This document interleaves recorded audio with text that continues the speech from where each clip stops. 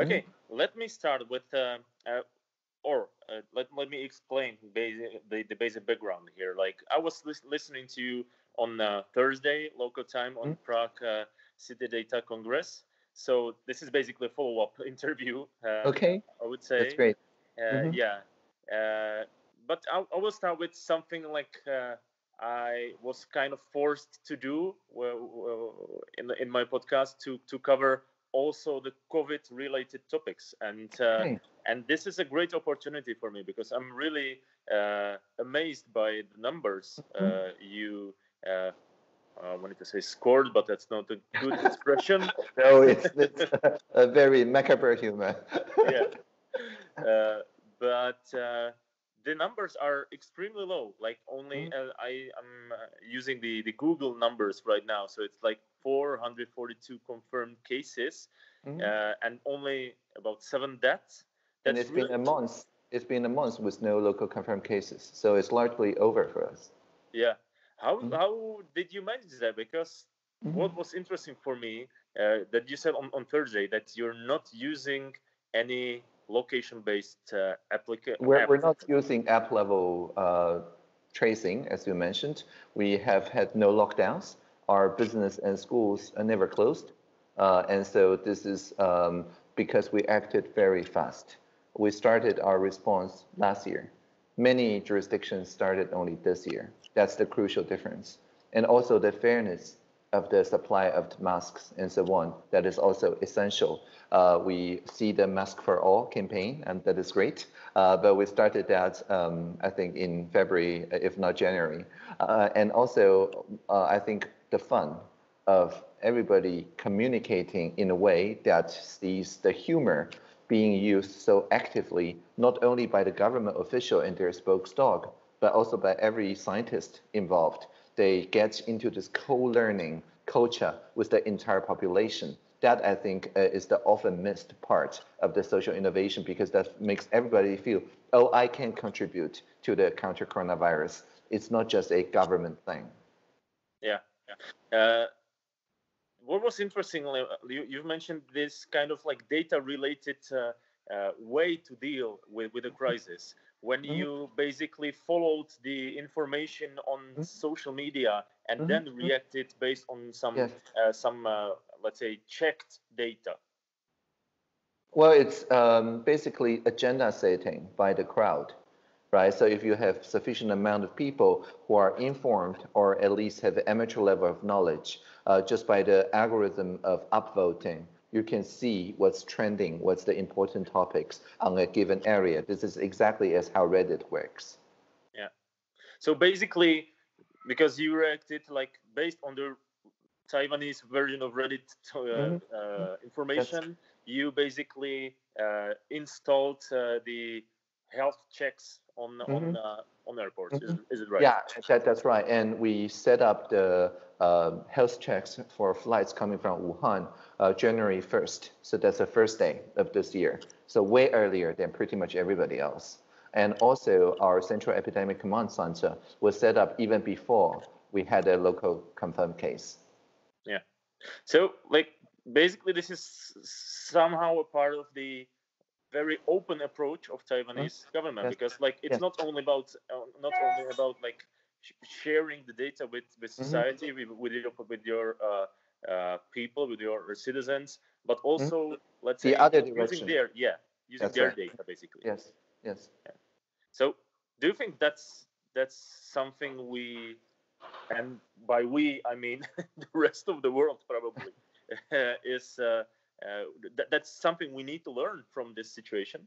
Definitely. And Taiwan did not start to be uh, a perfect um, score, uh, according to your words, um, in SARS, right? Back in 2003, our um, communication channel is very chaotic. Our municipality government and our central government says very different things. We had to barricade an entire hospital unannounced and with no uh, fixed date of termination. Uh, and so it's all very traumatic. And I think we learned from it, knowing that it's only through collective intelligence, it's only through everybody becoming kind of like an amateur epidemiologist can we uh, fight COVID together? In the beginning, we didn't know that uh, the novel coronavirus uh, is different from SARS. So we just uh, treat it as if SARS has happened all over again. So, but it turns out it's not SARS. It's even more difficult with an even higher R0 value. And so we had to improvise on a lot of things, uh, including but not limited to the digital fence which is uh, the alternative to the quarantine hotel. If you return to Taiwan, you want to go to a quarantine hotel, we do that and we pay you a daily stipend. But many people, if it's 14 days, they prefer to stay in their home if they're not living with people in the vulnerable uh, groups. And if they do so, then we use their phone uh, and use the cell phone tower signals to make sure that they do not escape uh, the digital fence. And that is, of course, compromising the privacy uh, and the freedom of movement. But uh, compared to, for example, a wristband or any other invasive technology uh, or GPS-based technology, it's actually much more coarse-grained because using cell phone tower triangulation, we only know about the 50 meters radius. And so it's uh, not as invasive as GPS. And also it's time defined, right? It's just 14 days, after which there's no constitutional basis for us to uh, track the whereabouts and to send SMS to the uh, household managers or to the um, police. So my point is that people know uh, the epidemiologic reason of why doing so, so they can improve the process. For example, writing chatbots that automates the checks and so on without uh, compromising the value because the value, according to the constitution, is to protect the public health. And we never declare a emergency situation. So everything we do need to be Congress approved. It need to be accountable to the parliament and it need to work in non-coronavirus days as well. So that makes um, our innovations much more uh, transmissible uh, to the rest of the world because you don't need uh, to make a constitutional exception to use the Taiwan model. Yeah and also like when you're talking about the let's say breach into into your uh, mm-hmm. uh, privacy with this with this mm-hmm. uh, digital fence uh, mm-hmm. i guess there's there's the line like that, that's that's exactly the point like where when you uh, kind of like breaking the privacy but with uh, let's say voluntarily like i can choose that mm-hmm. you you will or, or, will not do that so there's mm-hmm. probably yeah. some kind of like uh, border between like being being I would say vol- volatile in this in, in these uh, mm-hmm. meetings and in these uh, uh, use cases, and uh, mm-hmm. I'm, I'm, mm-hmm. kind of I'm kind of like uh, going there like w- w- to the question of the of the uh, keeping your data private because that's mm-hmm. you something you mentioned on Thursday too. Like that's that's why you didn't use the the location based app. But this is mm-hmm. kind of like a little bit same, but not that invasive. That's, that's exactly right. So um, the point of the uh, cell tower triangulation is that it's just for home quarantine. It's a defined part of population. And for people who uh, they, we don't know that they are not infectious, uh, who are suspectedly uh, infectious, which is what quarantine means, right? Um, that uh, the constitutional uh, principle defines because of the uh, act about communicable diseases for these people, we have the constitutional basis to do a time limited 14 days in this case, uh, tracking of their whereabouts. And the constitutional court says, even though it may be constitutional to barricade with no other choice, like just to confine them in a quarantine hotel, we need to find more humane alternatives if it's at all possible. So that's why the home quarantine instead of everybody going into the quarantine hotels.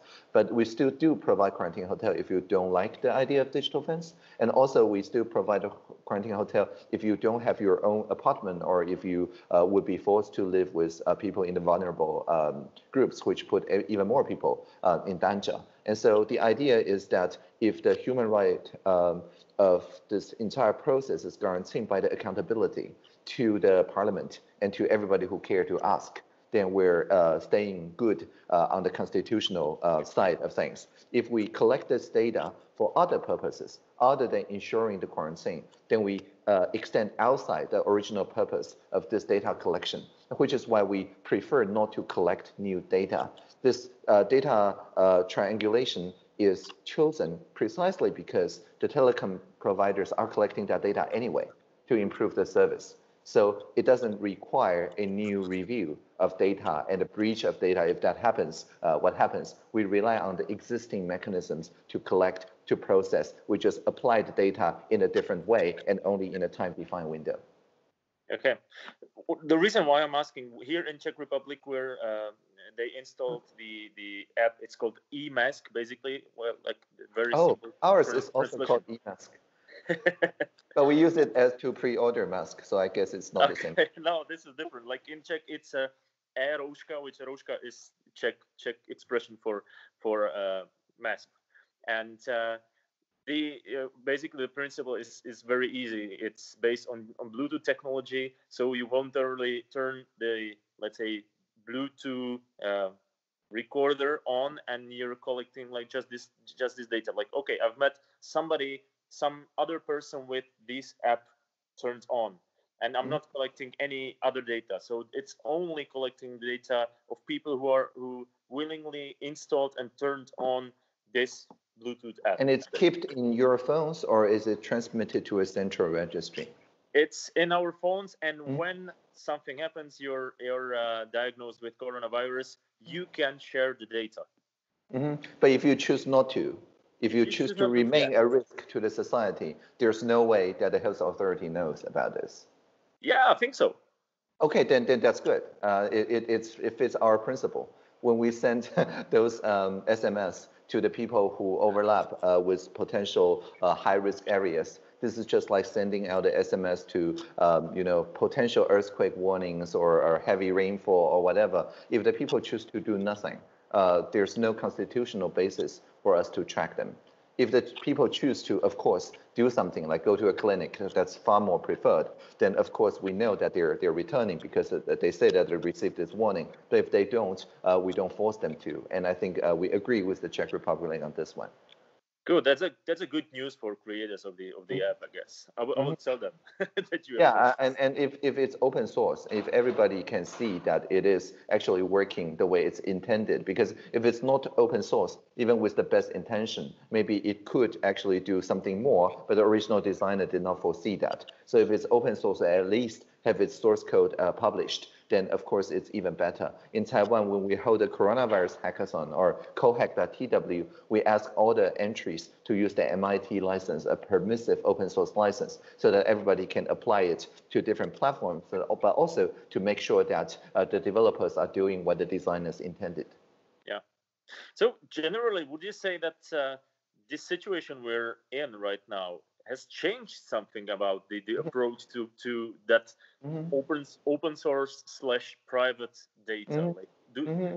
is it is it good idea to let's say push our boundaries in in a good way in a with a goodwill to help prevent the, the spread of, of coronavirus well i mean i mean uh, even though there are some data that are private strictly speaking there's very few individual private data like um, if I we're we're having a video conference now, right? Uh, and so this data, this context belongs to both of us.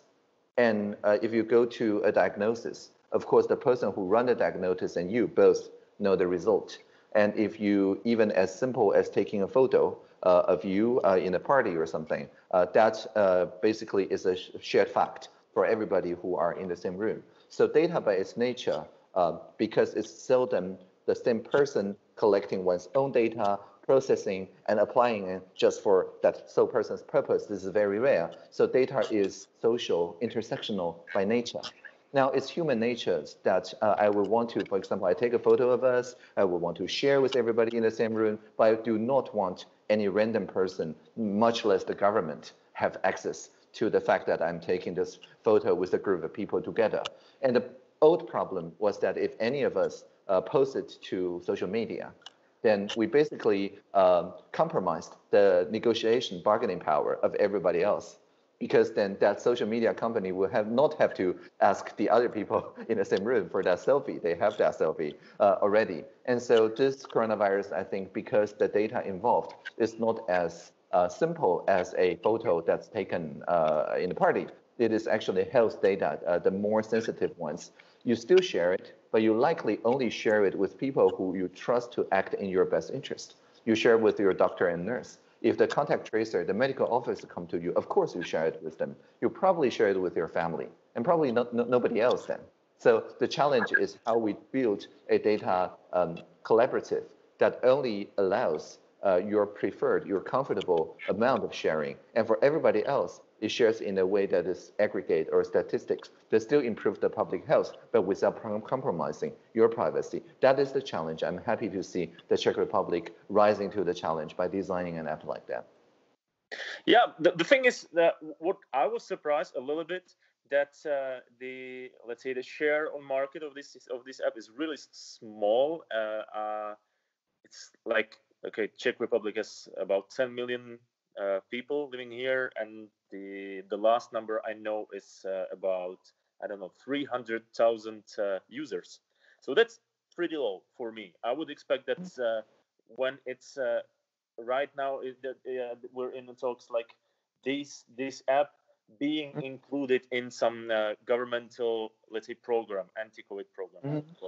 like, probably mm-hmm. there's a more specific expression but i cannot find it right now mm-hmm. but uh, so what I was a little bit surprised that even uh, the techie people, the young generation, was still afraid to install the app and uh, mm-hmm. to share the data, or basically collect the data because the sharing is the is the last step, and that's well, yeah. Um, however, I, I think that's healthy suspicion. I, I wouldn't say that um, we, we, should blindly trust uh, the apps. Uh, if it were me, I would insist on seeing a independent audit on the cybersecurity side. And also because I know how to code, I will also look at the source code, at how it was developed before choosing to install. And in a sense, this is uh, a good uh, practice, uh, both in cybersecurity and digital competence. It's just that with the um, time pressure, of course, people will want to uh, have a wider uh, dissemination of these app. And so I think one of the point of using the digital fence is again, because we use it in a way that doesn't require collecting new data. And we use it in a way that's very clearly marked in its purposes. So um, I think for contact tracing, if people can see that this somehow benefits them, for example, it's a app that traces my whereabouts, but I don't share it. I don't broadcast any Bluetooth. This is strictly my diary.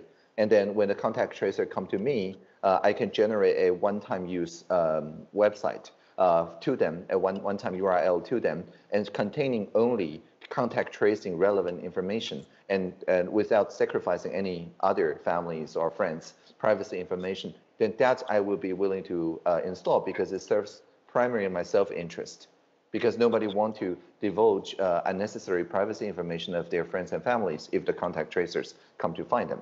And so this helps me and also incidentally helps other people. However, if you build an app as something that primarily help the other people and, and of negligible use of that person, then it's a harder sell. And this is why for medical mask, we say this protects you because it doesn't uh, you know, um, make you want to touch your face all the time it reminds you to wash your hands properly. And that's why we wear mask. And we don't say you wear a mask to protect other people. That would be a harder sell. Yeah, yeah. The thing, like uh, you mentioned it before, I guess, uh, the open source principle uh, that you would check, or at least you would want to know how the app mm-hmm. was was coded yes. and whatsoever. Yes. So for like for future events, and unfortunately, we can expect something will happen mm-hmm. again, something mm-hmm. like that, something like this this situation. So maybe in the future we should, uh, uh, I would say like to not to force, but mm-hmm. we, or at least the government should want to be open source in these uh, mm-hmm. these apps and these uh, let's say let's say precautions to to uh, to be open about what we do or what they do to pre- mm-hmm. protect our health and mm-hmm. how they do that. That's exactly right. If people already use that sort of apps uh, in non-coronavirus, non-pandemic situations, uh, for example, I can easily think of the kind of uh, personal log as something that people with chronic diseases, they will probably also want to use it because they want to uh, uh, their phone to remind themselves to change their habits for the better. Uh, for precision health purposes and so on. And so if you add those functionalities, then it becomes something that people are willing to work with every day. and also they trust uh, more because the more data they feed it, they know that nobody uh, can do a security breach or something uh, that compromise their security. So when pandemic happens, you just say, oh, by the way, here is a new field that uh, you report whether you have a fever, for example. And, and then people will be much more willing to use that app compared to a uh, greenfield uh, application. You you've, you've mentioned that, that basically you uh, at the beginning you reacted as SARS was happening again, and then that's right. That's uh, and then we discovered that SARS 2.0. Yeah. Yeah, and that's the the last time SARS actually happened. Uh, the Taiwanese government was not mm. that prepared. Not so. No, not at all. Not at all. Yeah, so I guess you you had the process of learning in between these two situations. But what what have you learned right now, like within this situation? What what I guess there's still was some some I don't know space space for mm-hmm. some new new experiences. Yeah, well, um, first of all, everybody should learn epidemiology, uh, learning why soap works, why uh, the hand sprays work. These remain the most important technology. Everything else is just adding to that. But if you look at the R uh, naught value um, and really soap uh, and hand sanitation in general, and physical distancing, they dominate the factors. Everything else uh, is good, contact tracing and things like that, if they're necessary. Um, but uh, if you don't do these two, then everything is doomed. Uh, and so I think knowing why the epidemiological model uh, and with playable simulations, I often recommend people to play a simulation by Nicky Case uh, and that simulation, I think, is one of the best uh, that I've encountered so far uh, that explains exactly how epidemiology works and wh what individuals, uh, instead of uh, being anxious, can do in a day-to-day -day way to spread the right message uh, on how to mitigate the coronavirus. And if you get into the habit of sharing what you have learned, then the scientific knowledge have a higher R value than conspiracy theories. And, and only then can the civil society mobilize uh, into a collective intelligence think tank and do tank uh, to counter the coronavirus instead of waiting uh, for uh, you know one or two people to make uh, incidentally the right decision. And that's not the Taiwan model. Yeah, uh, we're kind of getting to the end, but mm I wanted to ask about something which really really amused me on, on Thursday. That was okay. your humor over rumor tech. Oh yeah, yeah, yes, that's the dog and the bottom. Really, I, on, on the on one hand, it's really simple. I totally get the the the importance and and mm-hmm. uh, basically the the principle, yeah. but uh, maybe can you explain like how did you get there? Like because mm-hmm. it's that's kind of courageous, like to to have your well, yeah, we, we, we got there because yeah, because we, we have no other choice, right? In in Taiwan, uh, we pride ourselves in being the only country in Asia, uh, according to Civicus Monitor, that has a complete freedom of speech and press. And a journalist's word is as good as a minister's word. And for many other jurisdictions in our vicinity, that's not the case. When the disinformation crisis took everybody, all the liberal democracies by surprise, there's many jurisdictions that says, okay, then let's just give the administration more power. Maybe they can do a takedown maybe they can do a lockdown, well, in the infosphere, not the city. Um, and, and that, of course, is the easy solution. But then it decimates trust from the citizens. And it also shows that the government is not trusting the citizen enough to entertain different ideas. And for the things that are intentional that causes public harm, of course, there should be a response strategy. It's just takedowns actually angers even more people because those conspiracy theories thrive on outrage already. And so if you take it down, people are even more outrageous uh, about the takedown itself. So how to counter the infodemic, disinformation, even intentional malicious ones, without resorting to takedown is kind of the uh, question posed to Taiwan, and we can answer only by innovating because there's no existing playbook for that. All the easy answers that compromise the uh, privacy and the freedom we cannot choose. And so we have to try all sorts of different things. And it turns out that humor is pretty much the only thing that worked. Uh, and rapid response, of course. And so a quick humor over rumor turns out to be the most um, welcomed response from the citizens and from the civil society because then you work with journalists instead of against journalists. And no solution that I know of that works against journalists can win in this information uh, space. Plus, you're showing this this open source uh, principle again, mm-hmm. because you the part of the of the thing is not only the humor but uh, mm-hmm. as you mentioned on the on the example of the the uh, mm. uh, yeah. tissue paper rumor yes. like that you yes. you actually shown them like what is what what is produced exactly. where and so on mm-hmm. yes so it's about remixes it's about allowing uh, the comedic uh, professionals uh, to to have the full reign but the payload is still very serious clarification if you only have what's funny but there is no point in the fun then people don't share it voluntarily. They maybe just share it for the laugh, but they don't add their own message and their own reading into it. And adding their own message and reading ensure that they internalize that scientific knowledge and can make useful contributions to the community. If this is just something that's funny, followed with uh, something that's clarifying, that's scientific, these two doesn't connect uh, in the mind. And so the conspiracy theory will then still have an opportunity to sow discord. If you have a adversary or many adversaries uh, at that that tries to sow discord, your only consistent response would be to make each message stand alone by itself so that when people see it before seeing the conspiracy theories, they have a vaccination effect so that the next time they see the rumor, they say, hey, we, I laughed about it. It's not like that. And, and that's when you know you have succeeded in the humor over rumor playbook. Final questions. Aren't you afraid that when you, in, in the future, there's going to be a different prime minister that he's not going to be like that funny, he's not going to have that sense of mm-hmm. humor? Mm-hmm. Well, our um, vice premier is also very funny. Uh, but what I'm trying to get at is that this is a culture. When the ministry see that the premier tries this and it works very well, the people who are involved gets promoted. The author of that, uh, we only have one pair of bottom each, gets promoted from being a assistant to the premier, is now our administration spokesperson, our official spokesperson for the government. So everybody and their comedian friends see that this is really the one true way.